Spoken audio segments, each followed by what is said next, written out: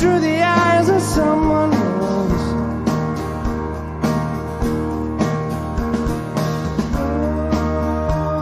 Too shy to see that